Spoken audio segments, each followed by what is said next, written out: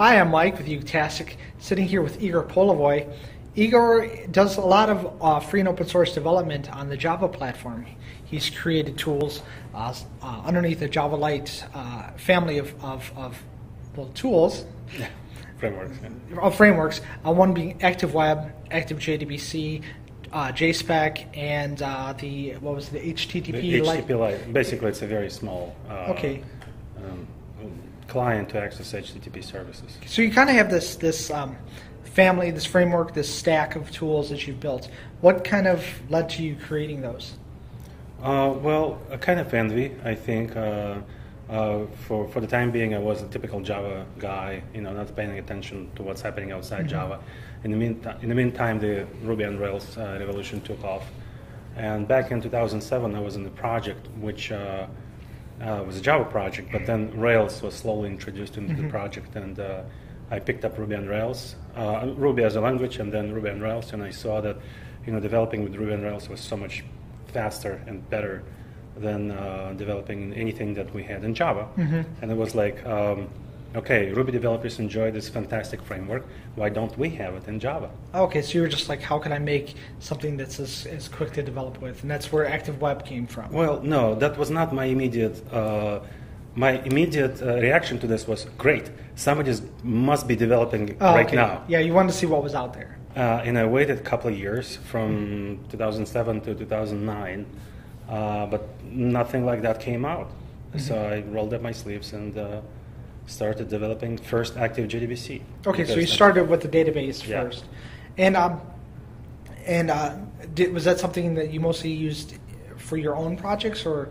or oh no no no! This was uh, from from the very beginning. It was used on uh, commercial projects we were building a massive uh, system for an insurance company, and we had two and a half months to start and finish a massive project. So if we didn't have an agile tool, well, uh, if we even, even went with something like Hibernate, at, at the time I was managing a rel- relatively small team. It was a team of four people plus myself.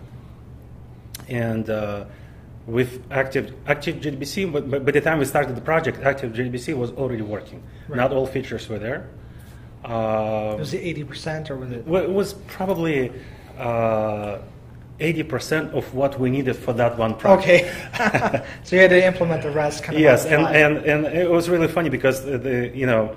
Um, as a developer architect, sometimes uh, you architect things right, and sometimes you architect things the wrong way. Right. Uh, this one was architected right because uh, when we hit the necessity of having having many to many relationship, we didn't have it in active JDBC. Mm-hmm. And my guys were like, okay, back to Hibernate. I'm like, wait, we're going to have it two days from now. Yeah. And we had it two days from now. From then. So, so it was kind of battle tested from the word go. You had oh, yeah, the idea, yeah, and then yeah. you immediately put it into production. And by the way, the, the first implementation was for a crazy schema in Oracle. Mm-hmm. So right there, so we, we hit so many problems. So is Active JDBC Oracle specific, or is it? No, no, no. It's it's uh, it's not Oracle specific. Uh, mm-hmm. The next implementation was for MySQL. Then uh, basically, there's not much difference between different databases other than uh, generating very specific queries for specific things, like so pagination. And how did you go about implementing all these adapters? Oh. Um, basically, I implemented Oracle, MySQL, and Postgre, mm-hmm. and H2 and two um, dialects for um, Microsoft uh, SQL Server were donated by the community. Okay, so this was you had already released it and it was out in the wild. And by the way, what license is Apache license? Apache. Apache. Okay, so you how were you sharing? How did people outside of your community get to find out about? Um, well, I didn't really uh, do much, too much effort or any effort to uh, publicize it. I basically threw it out into a Google Code, mm-hmm. and that's it.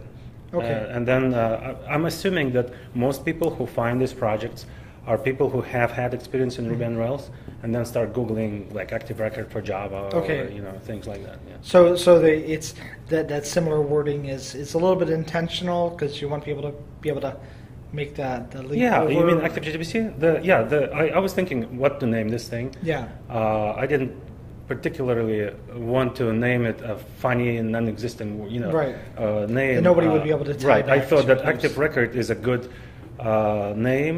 Uh, it's also a name of a pattern, mm-hmm. but um, So I took the word active because it actually, you know, as opposed to like passive uh, objects in, Yeah, in, it's- uh, it's in. Hibernate, it's a lot more active. Uh, and then I thought, uh, on the on the flip side, it's a very thin veneer on top of JDBC. Okay. So active JDBC, and then came about. So so you, you started with Active JDBC. How did you come up with Active Web? What was what was the impetus for that? Well, as soon as we implemented a massive backend system for that company, we also had to implement uh, uh, about four portals. And uh, to be honest, implementing Active JDBC was a lot harder. And I was I always thought that Active Web would be something like that, Yeah. and, and it turned out to be very easy to do. Um, I also implemented a number of other frameworks before them uh, to, to make it easier for people to build web applications. So I did have experience doing that, Okay. Al- although they didn't go anywhere. So a little bit about you know why did you choose to make these open source tools? Why why didn't you try to bundle them up and, and sell these tools as components or, or Oh, um, well, number one reason I'm not a salesman. uh, but the, the, the reality is, uh, I, I used so much from open source community. Um, Linux, um, all kinds of Java frameworks, you know, Ruby and Rails. Uh, I felt that I should give something back.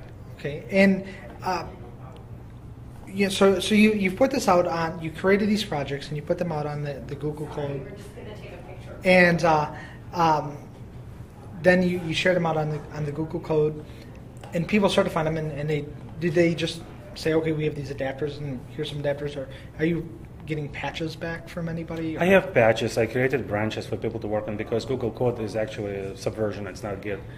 Um, at the time uh, when I designed it, I guess Git wasn't as popular.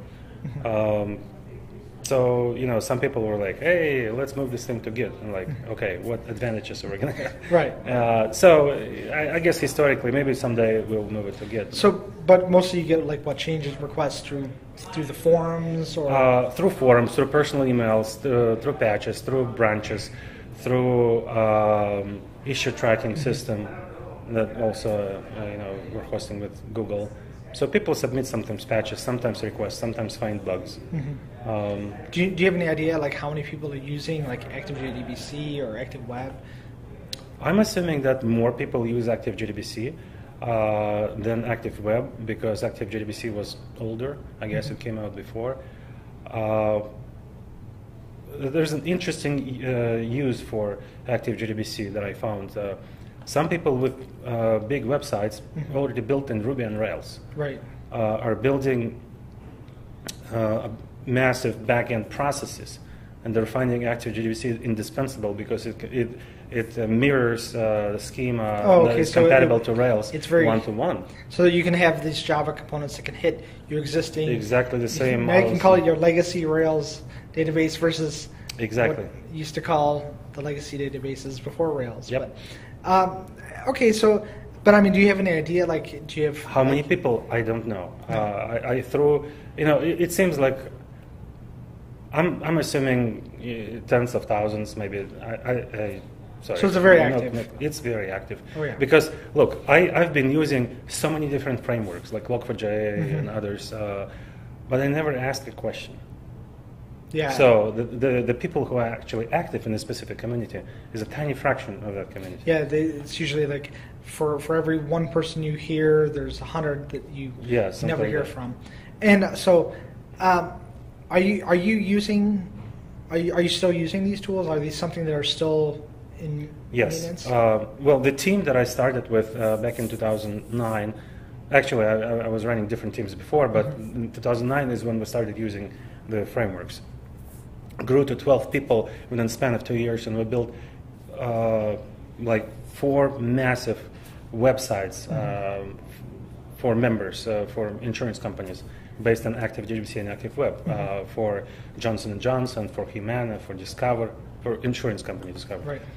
Um, so that was between, um, I was with that company between 2009 and 2011, Mhm. at which point I uh, uh, found new employment with Groupon.